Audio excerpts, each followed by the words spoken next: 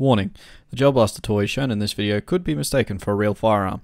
Do not take gel blasters into public spaces or it will likely be treated as real by authorities. Gel blasters are classified as toys in Queensland regulations, however this may be different in your state or territory. Be sure to check your local laws before buying or ordering a gel blaster. Also, ensure you use adequate eye protection whenever using gel blasters. Stay safe everyone.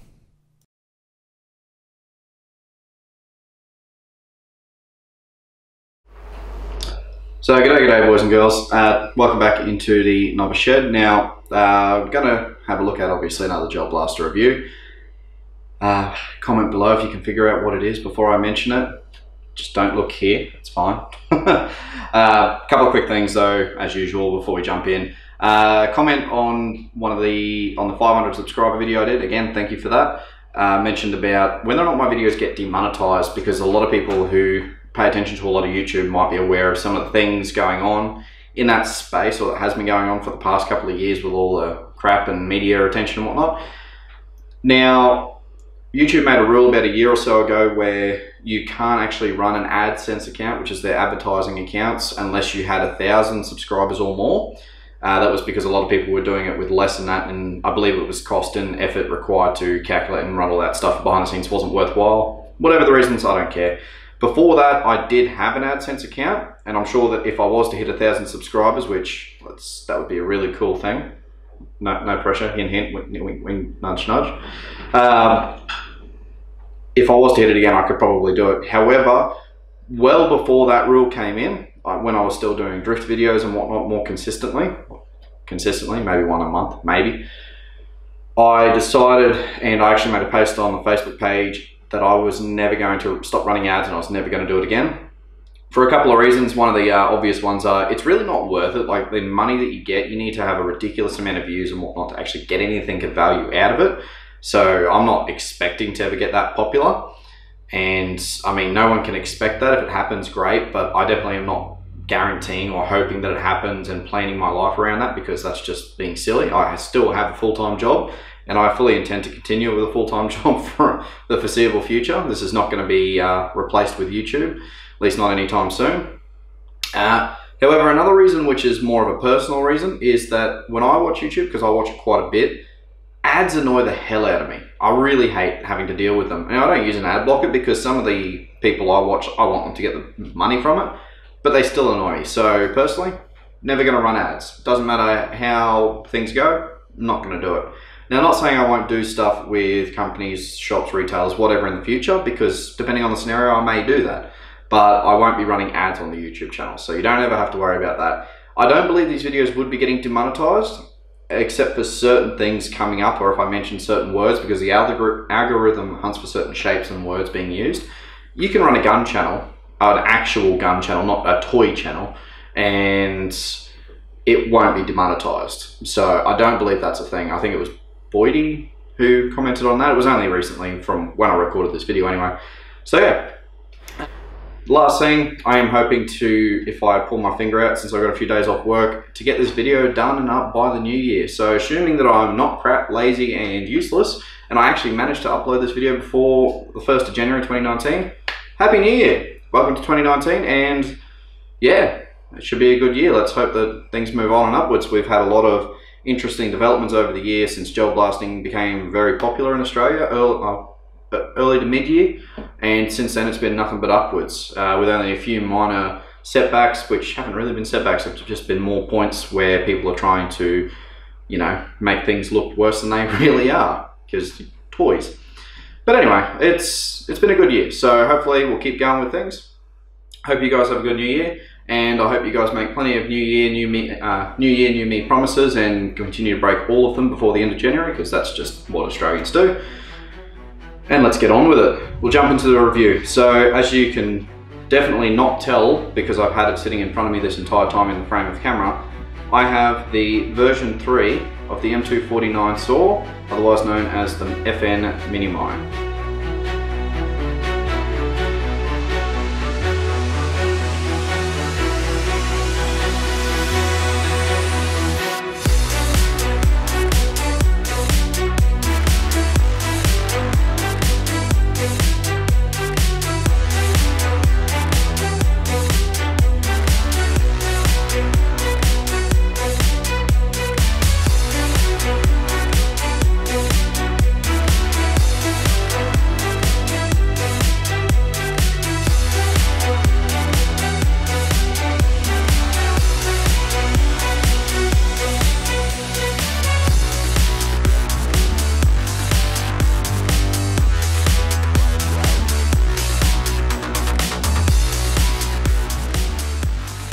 Minimi. the M249 SAW. Now, the M249 is a designation that was given to the real world uh, weapon in the US military.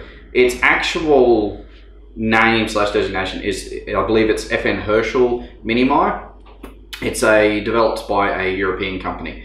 So it is quite a unique design. There are a few things around it which look quite good. It's one of the, the big things about it compared to a lot of other sort of uh, saw style weapons is that it's quite compact. So it's a bit lighter, it's a bit easier to deal with, that sort of thing. There are a bunch of variants of it and there are a few things there which I'm hoping when I get my own, I have my own on the way, I'm hoping to modify the look of it a bit to make it look like one of those designs.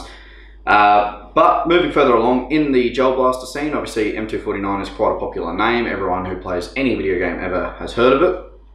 And so that's what it is. Now this is actually version 3. There was uh, version 1 originally, which wasn't very good. it was okay, but it wasn't very good, uh, which had like the battery and the box magazine, those sort of things. The version 2, I believe, had a horizontal Gen 8 style hybrid gearbox. Uh, friend of mine, Lieutenant Dan, the one who suggested that I get shot by everyone, yeah, that guy. He got one, he pulled it apart, modified it, and fit a full-on Gen 8 gearbox into it, and that's what he's been running. So any of the videos you might have seen where you hear that or see that running around, that's what that was. So obviously, this one, having a Gen 8 style gearbox in it, has been quite exciting for a few of us. But moving aside, we'll get onto that later on. So first things first, we'll jump into section one, and we'll have a look at the close-up style of the blaster. Now, one thing I'm going to mention straight away is the weight. This thing doesn't weigh much, so it's quite easy to throw around and handle. It does have a bit of a plasticky feel, but it's not too bad. Sorry, my phone just went off. I should put that on silent. Uh, however, one thing that you will note about it, like the MP7 and whatnot, this is not nylon, so it's pretty much all a plastic body. Doesn't feel as solid, and that's purely because it's such a large, beefy boy. So it's going to be necessarily, uh, there's going to be necessarily large cavities inside the actual moldings, which is unfortunate. Not only that, but if I get it up a bit closer to the camera, sort of see there, oh, that'll help. Sorry about that, I forgot to turn my light on. So yeah, if I try and get it up a bit closer to the camera, you kind of, it's not too easy to see, but a lot of the mold lines are showing quite significantly. It's not too big a deal, but just there to be aware of. So moving further along on the business end of the blaster, you do get a small outer barrel extension. I believe it's silver uh, with a flash hider molded into it that goes on the end here. Uh, this is Lieutenant Dan's blaster, so he's already pulled that off for a few reasons. So that does come with it standard. Now you do get with it a plastic barrel that you can see just there. A bit hard to see in the light in this room, but it is a plastic barrel standard, so just be aware of that. Further along, you do have this front iron sight here with a little mold style there, and it does line up with the iron sight just here at the back. I'll try and show you that a bit later on as we go along. At the front here, the actual handguard that goes around the barrels is feels fairly solid, has a couple of holes in it, which uh, would be for ventilating heat. Again, gel blaster, utterly pointless, but that's there if you want it. You do have this section just here at the front, where these little holes are. That's for the bipod. So I believe that this did come with a bipod standard. I just don't have it because again, it got pulled off. We don't tend to use them too much in our games, but that should uh, connect straight in there. You do have a tiny little Picatinny rail, maybe one and a bit inches, just there on the front. I'll try and set that so you can see it. Yep, just there, which is nice because that way if you wanted to attach a laser or a torch or something, at least it's there. And if you go further along the back of the handguard, just here, I'm gonna take that out because that's getting in the way. Go further along the back of the handguard, as you can see, I'll go like that. Just there, where this uh, nice little foregrip is, set that off. You do have a continuation on that Picatinny rail on the same plane as the front end, just there, and it's quite long. So you do get this foregrip with it. It's just a little screw on the bottom to tighten it on. Uh, it's fairly flimsy, it's very plastic, so it's not exactly what I would call great quality, but it's something, I suppose. And on the bottom sides of each side, so just there and just there, you do have uh, another rail on each side, same length as that bottom section on the handguard. So a few options there for doing torches, that sort of thing. Not a bad idea, nice little uh, feature. Further along, you do have your little carry handle. Now, this is very flimsy, even though this thing doesn't weigh much, and I'd say maybe a kilo and a bit. it's already bending this stalk. So I would not be relying on this. I know that uh, Lieutenant Dan came up with a thing a while ago where he got an old carry hand, M4 style carry handle for wells. He put it on there and he uses that as his uh, carry handle. So, yeah. Personally, I don't like the look of it, but that's a personal choice, and it is quite useful. I'm not going to deny that. Further along the actual receiver, you do have a lot of nice little mouldings in, such as the uh, uh, moulded in charging handle, doesn't move, doesn't do anything. Little ejection ports, a couple of little bits here and there, which is nice. Doesn't really do much though. Like I said, they're all just for show. Now, one exception is just here, this tiny little, I'll try and see if I can get the light into it. Uh, not really, just there, oh, that'll work. That's a little switch. That's your mag release. So that's the only real moving part on this end. When you move further back, there is a switch just here. That's your on-off switch. So you got on-off and then mag release. They're the only real moving parts you have for the mechanism on the outside.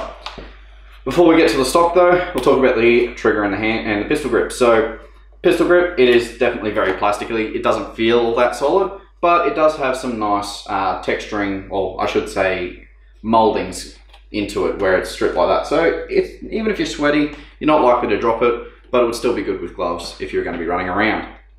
Trigger guard, massive. So even if you've got fat fingers and gloves, you're not going to have a problem there.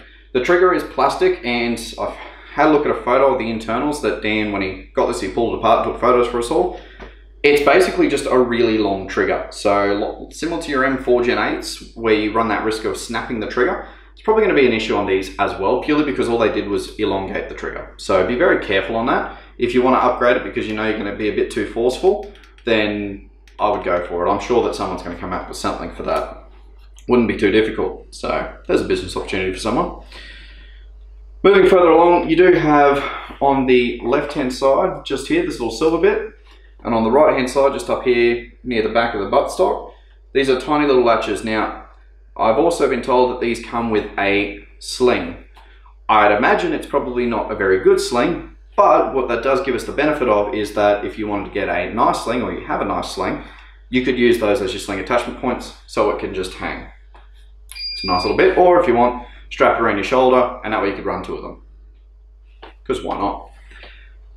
Last but not least, we'll move on to the buttstock. Now the buttstock is in a similar design to some of the others. I dare say that they've just used parts from other blasters to uh, make this one work. It's very much an M4 style stock. In fact, if you move the buttstock completely off, that's an M4 style buffer tube. I mean, it does mean modifying is going to be simplified because you can grab any other stock that will fit this buffer tube and chuck them on. I don't know 100% which ones do or do not fit. In fact, let's do a test right now. So this is my Wells M4. This was actually a Christmas present from my girlfriend. I know, right? Winning. So let's try and see if it will fit on the M249. I'm thinking not, but it would be cool if it did. It'd be really cool if it did. Ah! Look at that. It doesn't go fully in. There's no lock there for it, but it goes to there and that's full in. I'm gonna run like that today. That's way better. Sorry about that, getting distracted, so I shall put that away. Alright, so, so there's your M4 buffer tube. Now, like every other blaster with an M4 buffer tube, that's where your battery goes. Now, your battery is your standard little black battery connection. It's nothing special there. And any batteries, if you're not sure if they're going to fit or work, if it fits inside the M4 buffer tube, it'll probably work. So use that as a guide. Normally most batteries nowadays seem to be made so that they fit because it seems to be the generic style. Uh, so you should be all right there. The buttstock itself is very plastic. It's not very good. Like, it is adjustable. Just lift that up and move it, which is nice. But the butt pad is hard plastic. It's not too bad on your shoulder, again, because you're not going to be forcing it in but I wouldn't be putting too much force on it anyway. So it's nice, but it's nothing special. Like, it's more or less an afterthought, I think. They just put it together and got it out there. Not a bad thing, because it does work, but I think they could have done better. That's just me. So, we're finished with the close-up look of it. What we'll do now, we'll jump straight into section two and the basic operations of this blaster.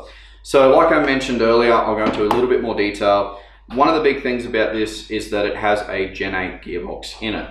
Now, it is not a exact Gen 8 because it's not Jinming. I can't remember what brand it is. If I do remember, I'll put it on the screen somewhere. It is a Gen 8 clone, so there are some minor differences. However, most of your Gen 8 aftermarket boxes and pieces should fit without too much trouble. Like I mentioned, you do have a plastic barrel as standard, so this thing I'm expecting to do similar sort of performance to a Gen 8 M4A1, so around 180 FPS, that sort of thing. The only benefit being you have a giant box mag. So we'll see how that goes moving further along, but just a thing to be aware of. Like I mentioned about the trigger, be cautious on that because I could see that breaking quite easily. So other than that, the operations ball grip we've already gone through. You just loosen this and you can adjust it and place it as is or move it in place. Bipod, fairly straightforward, up and down. Absolutely nothing special there. Carry handle, I would not be trusting this. It's probably going to break very quickly because like I mentioned, it's flexing and it's not even got any weight in it at the moment. So there's only really two operations in this thing that you need to be aware of. So we'll get to that. First one that we're going to do is the magazine. Now, obviously being a SAW or a squad assault weapon designation, it needs to be able to put out a large amount of fire, consistent fire. So you do have this giant box mag. Now you might think that's a crap load of gels that's going to last forever. Like the drum mags for all the previous blasters that have had them, you do not get this full capacity. In fact, you only get about probably that much up. So don't think you're going to have this entire box to fill with gels. If you look inside there, it's going to be a bit hard to see. Yeah, I can't really get the light to show you. It goes down like that and then hits the wall with a tube going out the middle and that's the feed tube. So it feeds the gels into the corner, goes back down through the motor and then up into and out of the feed tube. Now, obviously it is a motorized mag, so don't go tipping water in there as per usual. Make sure you clean your gels out after each use so it doesn't gum up or destroy the motor. However, what would also have been nice would be a mag prime. To my knowledge, I can't find one. So as far as I'm concerned, there isn't one. If there is one and I'm an idiot, then go ahead and point it out to me below and I'll fix up and put in an annotation somewhere. But yeah, so that's your magazine. Fairly straightforward. You can feed this while it's in because the feed door's just there. But to put the magazine in, on the bottom of the M249, as you can sort of see, uh, yep, we'll get it. There's two little holes just there along the bottom. See those lines? That's what these little uh, tabs insert into. Can only go in this way, so from the left hand side of the blaster into the right. If you try and go the other way, it won't work. Now, what you need to do is just push it in. On the back of the tab here, there's a little catch. Push it in like so. Give it a little tap. She's now locked in place It's going good. Like I mentioned, you can open that there and refill the box without having to replace it. So unless you're running multiple boxes for whatever ungodly reason, you should never have to remove this during games, which is awesome. In order to remove the magazine, pretty straightforward. Like I mentioned, here's your mag release. Just there, that tiny little switch. You simply pull that back and then slide your magazine out. Now, what, one of my uh, other guys who we play with has one of these as well. His mag catch and release has been very tricky to use. So be aware of that. Some of them may be a little bit dodgy. Uh, hopefully that's a one-off quality issue, but we'll see how that goes. This one seems to be fine. And by all other accounts I've heard, they're not that bad. So that's that. Now the next side, obviously, is the power source or the battery. Take your buttstock off, pretty simple. Pull your little connection out, plug in your battery. Now, take note, the battery I'm using is quite a large one. It's also a uh, much higher discharge rate. It's an 11.1 volt battery, not a 7.4. I'm not 100% sure what batteries come with the tend to come with these standard. I would be willing to bet that they're going to be 7.4s because they're just easy and cheap to dish, to throw out. However, all the tests on this one today are going to be with 11.1 volt batteries, so you're aware. Simply slide it in, like I mentioned, if your battery fits inside an M4 buff tube, it'll fit inside this. That's it straight and simple. Lift up your catch, put your bucket stock back on like so, and then set it to your desired level. Now I like to run quite close, so I'm gonna run it there. Now you're almost ready to go, except no, because like I mentioned, it's not obvious. There's a little switch just here. It needs to be pushed down, and now we are live and ready to fire. Sounds pretty good. So, overall, personally, I'm quite happy with it. Uh, it for what it is, it's not bad, especially considering it is about the same price at the moment as the Gen 8 M4. So, it's not expensive because it's nothing all that flash. It's more just something different. And it uses Gen 8 internals, so there's going to be plenty of modification parts available out there. Not to mention the fact that you could probably pull this apart and do whatever you want to the design anyway. So, all in all, I'm fairly happy with it. Uh, I'm, I'm hoping that mine will turn up this week at some point, but who knows? Because, you know, who doesn't like having the ability to never reload? That's always nice. So, what we'll do now, I'll uh, rearrange all this camera setup and whatnot, and we'll jump into the chrono test, the bit that everyone actually cares about. So once again, as per usual, make sure you're wearing adequate eye protection whenever you're using your gel blasters, also indoors. Also keep in mind that for all these tests, as per usual, I am using hardened oranges. So the chrono test, the accuracy test that I'll do outside, and probably while I'm playing in the gameplay footage, it's all gonna be hardened oranges, so be aware of that. I found that hardened oranges seem to go a bit better with the plastic barrels. So let's get into it. I'll just get it loaded. Alright, so we're now loaded, ready to go. Let's see how she goes.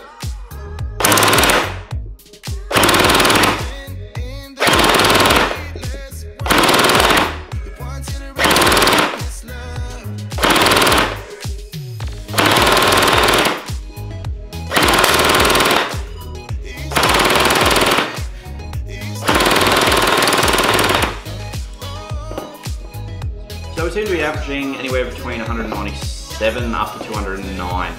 Uh, so I'll say an average of 200 FPS, 200 to 205 FPS. That's actually pretty good. That's better than a standard Gen 8 M4. Uh, no idea if that's a gel selection issue or what the go is, but this one at least seems to be doing quite well.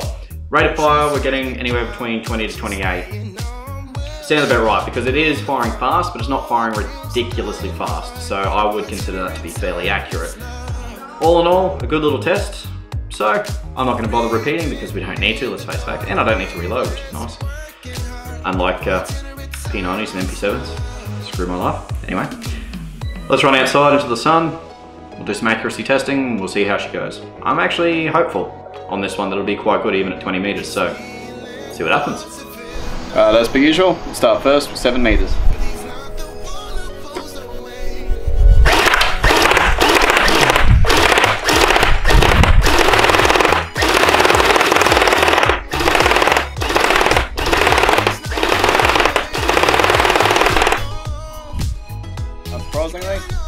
7 meters. Move a bit further back, give it a try.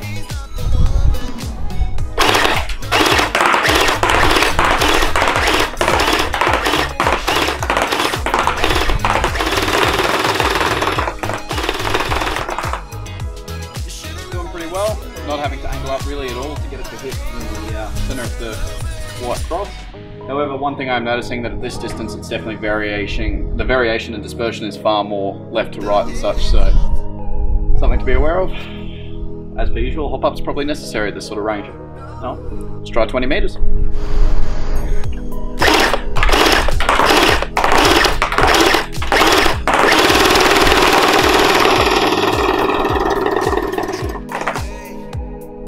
Still not bad, making the distance without too much trouble. Making the distance without too much trouble, though sideways uh, and even up to down dispersion now is really an issue. Um, all things told though, still running pretty well, so can't complain. Get a bit closer, I'll refill this giant box mag. We'll see how long it takes to empty it. I am guessing it'll take a while for science. Righto. Let's go for the uh, box mag empty. It's to take a while.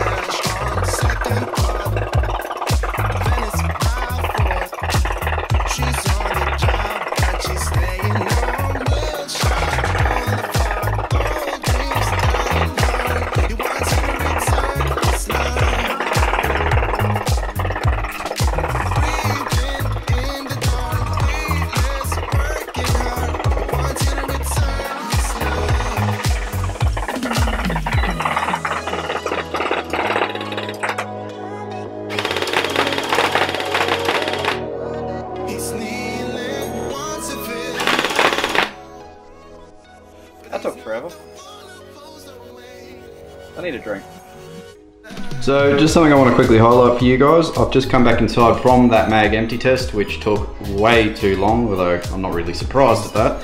Something I want to note here, some of the older blasters have this. When you do long sustained bursts of fire, the motor tends to get quite warm. Now, I can feel the heat from that motor there. It's still not too bad, but just be aware of that. If you're gonna keep doing that, reloading and then doing it again and doing it again, you may end up damaging or burning out something there in the long term. So be very cautious of that. Not only that, but obviously if you're cycling for that long period of time, you have the current going through the wire. A lot of these blasters do not have very good solder connections. It's just the way they're built. that They're not that great really when you get down into it. So you may end up damaging some of your solder connections because it's constantly going through heat cycles and becoming brittle. So just be very aware of that. It's not too big a deal with this thing so far. I mean, this spent an entire day playing a week ago and it's doing this just fine. So I don't expect it to be an issue initially, but it will definitely come up over time. So just be very aware of that one. So ultimately, the M249 Blaster is actually doing really well, all told. All things considered, it's also not all that expensive, so it is definitely seeming to be a favourite for a lot of people, including myself. So what we'll do now, after looking at all that, we'll jump over into the gameplay footage. Now, the gameplay footage is from our last weekend with the G3 guys, about a couple days ago as of recording this voiceover and we introduced a couple new game modes in this, including a Juggernaut method, which in the early bit of show footage, at about 5 minutes in, you would have seen me dual wielding the M249s. So you'll get to see a bit more of that, and also just normal gameplay with a single uh, blaster, just to see how it goes in the field. So I hope you guys enjoy that, and we'll get straight into it.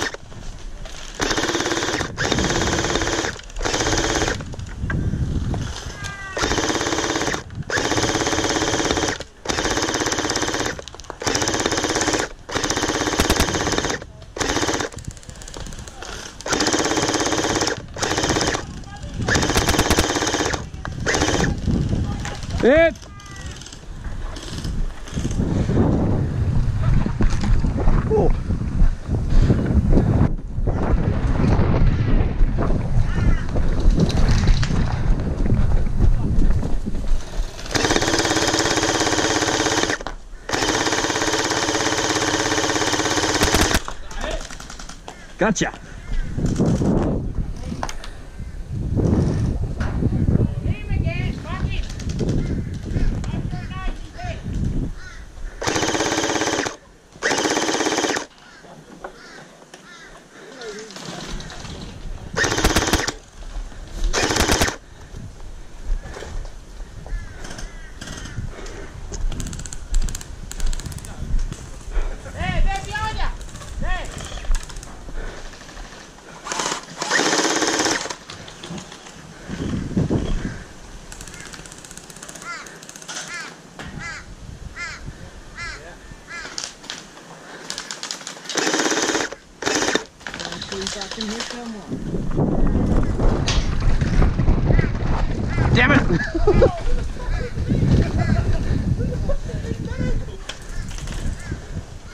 Probably not them.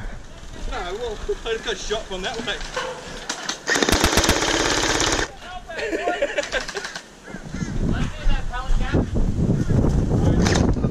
My bad. I reacted before looking.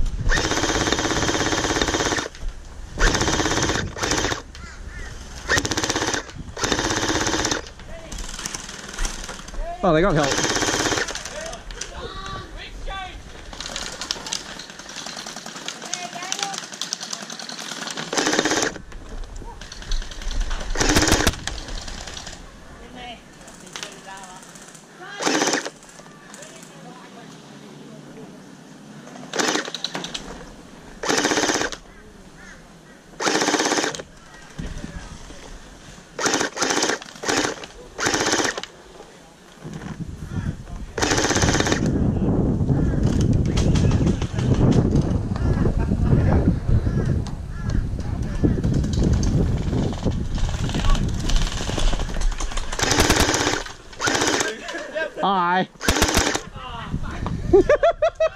Dan. I'm running out of ammo. This isn't meant to happen.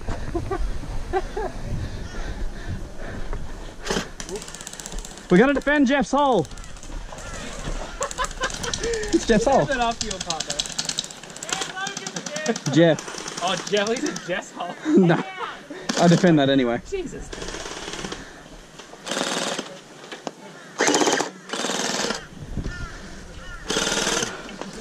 Swapping arms. Whew. Oh, Kane's trying to be sneaky. Yeah, he's trying to hide. We should really put like a survivor on. So survivors actually have a chance to win occasionally. Well, that's the thing is it's meant to be a diminishing returns. If we had a timer and did it in like teams, you could see which team won because who lasted the longest. But hi Dan.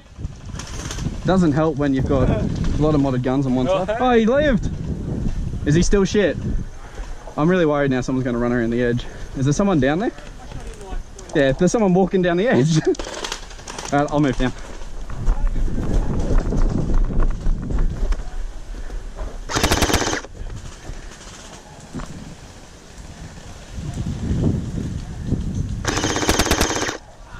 Hi. You mean a good, perfect placement.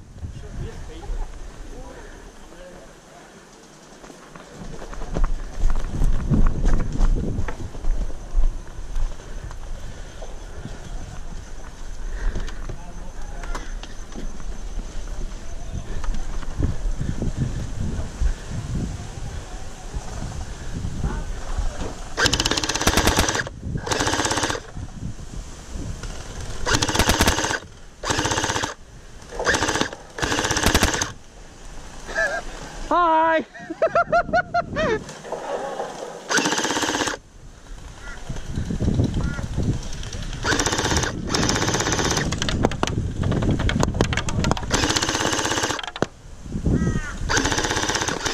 Hit.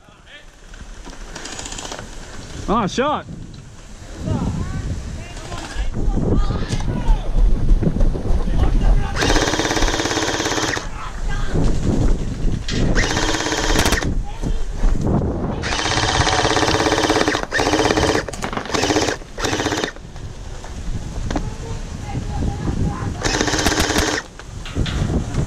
There's one down far right.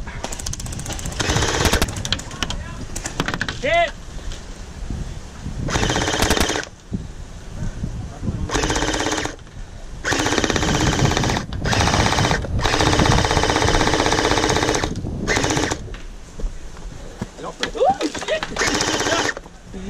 Right, I'm gonna I'm gonna move right.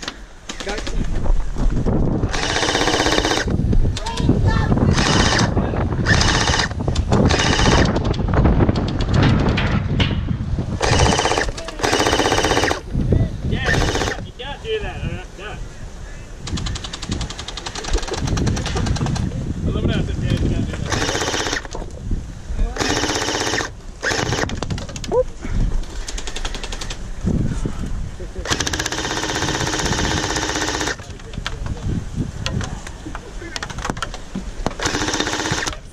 Go man, go. Yeah, let's go. Another hit.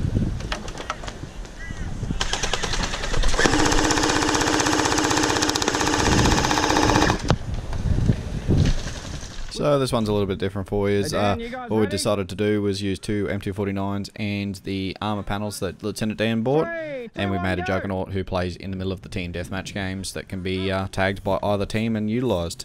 So hope you enjoy this one.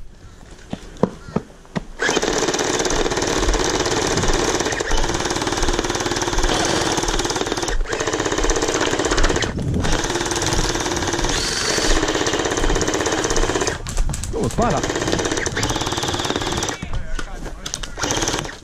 go hit. Yeah, I'm out. I can't get it back in. I'm out. Hit. Juggernaut seven, hit that juggernaut back. Come on.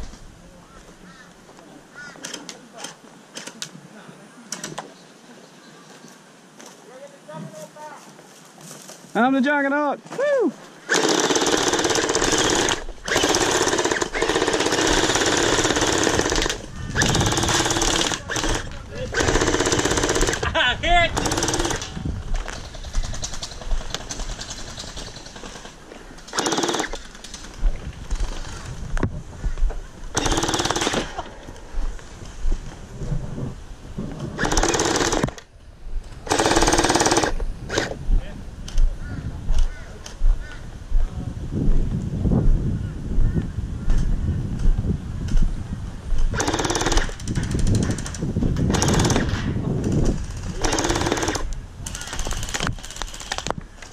Hit!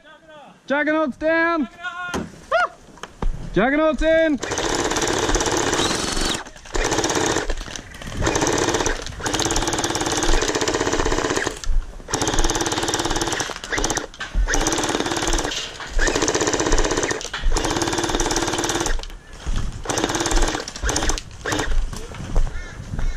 Bang, bang, bang, bang, bang, bang, bang.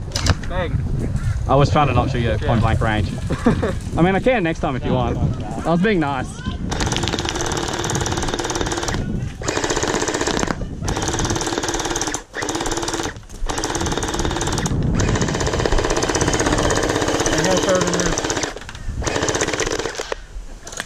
Hit! Juggernaut's down!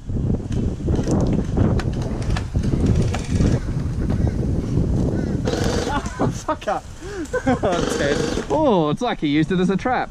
Juggernaut is still down.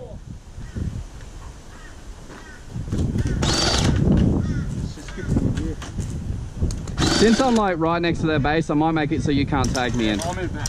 Yeah, I'm out. I've already said it three times. It's all good. That's why my guns are up. So since I'm right next to your spawn, I can't I can't be tagged by their team because I'm right next to your spawn.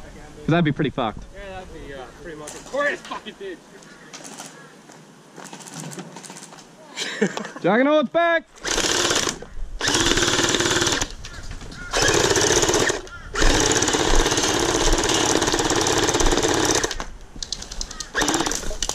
Oh, there's a stick there.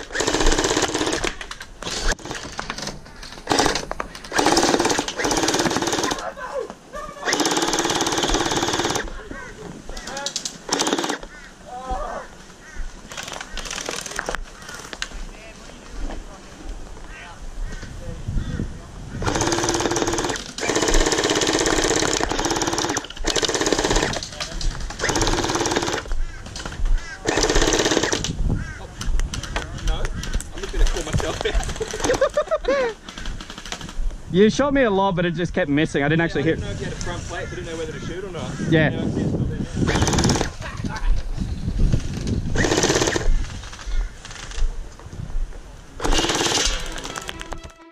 So I hope you guys enjoyed that gameplay footage. Managed to get both my gun cam and head cam working properly, so it was able to be a bit more interlaced. I hope you enjoyed it because it, it was definitely a lot more fun to edit and put together. Uh, also, the Juggernaut game. Uh, we all loved playing is either with the Juggernaut in the game, or in the case of myself and Lieutenant Dan, we both each took two turns playing as the Juggernaut, and it was a lot of fun. gets a bit confusing after a little bit, but and you get shot a lot, but that you just sort of deal with it. So it is a lot of fun. We're definitely hoping to play more of those. So with that being said, what I'll do now is I'll jump into section five and the th- final thoughts on the M249 version three. Uh, honestly, I don't really have any negatives. The only negatives I have is the build quality is not the greatest. Uh, the body doesn't seem the strongest because it is fairly large uh, plastic molding, so it does have a bit of flex in it. That's about it, to be honest. Uh, like yeah, like out of the box, it's good. It does a consistent FPS. It has heaps of ammo capacity thanks to the box mag. It's relatively comfortable to run around with, and because it's light, it's also easy to run around with long term. Uh, upgrades, I would potentially do uh, myself. If when I get mine, I'll probably do a couple of mine upgrades just for reliability and longevity. But that's about it. I'm not planning on making it ridiculous power or anything special like that.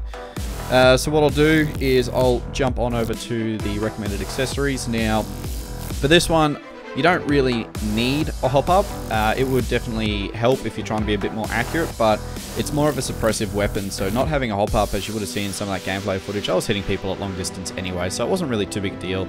This is more for keep, getting people to keep their heads down and not uh, move up or react to your presence. And it definitely does that very well. So hop up would definitely help be accurate of distance, but it's not required by any means. And I'm not going to recommend that you need a spare magazine because you really don't in this thing unless you're playing really long-term games. But I would recommend you have a speed loader present just so then when you do finish a game or need to reload on the off chance that you manage to empty that magazine before one game finishes, then you can just reload it as you go because you don't even need to take the magazine out to reload, which means it is really easy to just carry a bottle and just keep refilling it if you need to on the fly. So yeah, overall, it's good. I like it. It's not expensive. It's about, like I said, about the same cost as the Gen 8 M4A1 Jinming. So really, you can't go wrong buying this thing, from what I can tell. Something I did note is when I was using the two M249s, the one on the left is another friend of mine. He got his around the same time as Lieutenant Dan, which is the one on the right, the one that I actually did all the reviews on. Uh, he was the one who had the magazine release clip was a bit dicky and kept playing up on him. Uh, so that was his one. Not only that, but his on-off switch was opposite. So on Lieutenant Dan's, I believe the switch was down to be on. On Cody's, it was up to be on. So just watch out for that. There might be some disconnect there, but other than that, it was all good. So I hope you guys enjoyed that video. Also, uh, Happy New Year. Welcome into 2019 because I still definitely am planning on getting this up at the end of 2018 because why not? I don't uh, need a life at all. I can just live on the computer. And yeah, so smash that like button if you enjoyed the video. Comment down below if you got any thoughts, questions, or queries. And don't forget to subscribe to the channel because it always helps out. And we're on our way to a thousand, hopefully. That would be awesome. And moving further forward, the ACR I do have with me, so I should be able to realistically get that review uh, at least started or finished and up in within a week or two. So that one is coming out soon. It is the HE ACR, not the JM one. That's uh, a bit more delayed yet. So yeah, all good. Don't forget to jump on Instagram Facebook. I try and post up pictures as well every now and then just for a bit of fun and communicate anything going on. But other than that, I'll catch us next time.